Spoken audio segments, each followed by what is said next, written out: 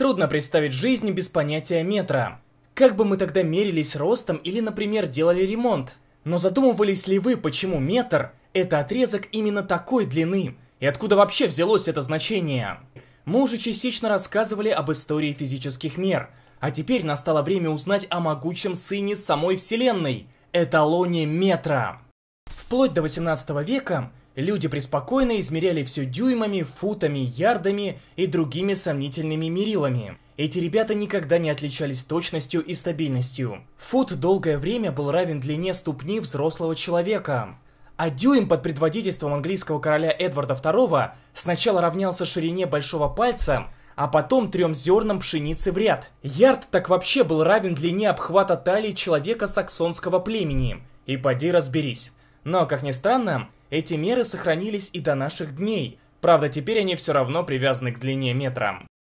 В 18 веке набор оборотов промышленной революции наконец потребовал создания универсальных мер, не привязанных в своем значении ни к рукам, ни к ногам, ни к остальным сомнительно точным вещам. Но еще бы, как бы мы построили заводы, замеряя все ладонями до талий?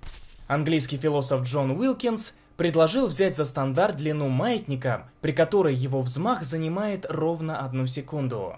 И всех этот метод вполне устраивал, пока французский астроном Жан Риш в ходе своей экспедиции в Южную Америку не обратил внимания, что период колебаний секундного маятника вообще-то не так уж и стабилен. Оказалось, он увеличивается по мере приближения к экватору, так как там меньше сила тяжести.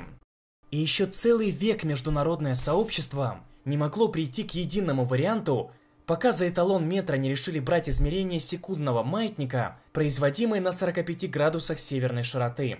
Но и этот вариант оказался недолговечен. В том же 18 веке Французской академией наук была создана специальная комиссия для выявления значения эталонного метра, зависимого от размера нашей Земли. За значение метра была взята 1 десятимиллионная часть расстояния между Северным полюсом и экватором, проходящим по Парижскому меридиану. Это, конечно, не самый удобный способ измерения, но он сумел продержаться почти целый век. А сколько шуму было, пока страны решали, кому хранить этот официальный метр. Наконец, когда теория относительности Альберта Эйнштейна получила распространение, и всем стало понятно, что свет имеет ограничения по скорости, было принято решение использовать фундаментальное значение, которое нам предоставляет сама Вселенная. Его физическое отображение выражается в виде прекрасной палки длиной ровно 1 метр, которая, как и наш идеальный килограмм, состоит из платины и иридия, и хранится она в английской палате мер и весов. Остальные страны, которые пользуются метрической системой, имеют точные копии этого прекрасного образца.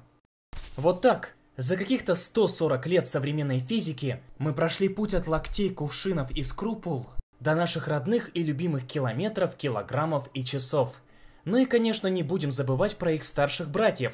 Световые года и нанометры, гигагода и наносекунды, массы Солнца и нанограммы. Хотя, конечно, до сих пор интересно, сколько кувшинов уместится в Луне и за сколько шагов можно к ней дойти.